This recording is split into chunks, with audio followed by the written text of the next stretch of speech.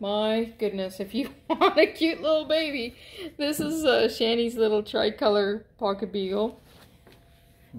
Oh, These are she's tiny, tiny, pups. Tiny. She's one of the bigger ones probably, but they are tiny.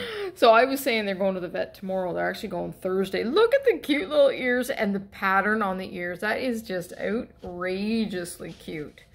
The rim around and then the dark center. That is just so sweet. Oh, she says, You're all so that, cute. I'm taking all that pictures. praise, my tail's gonna swell.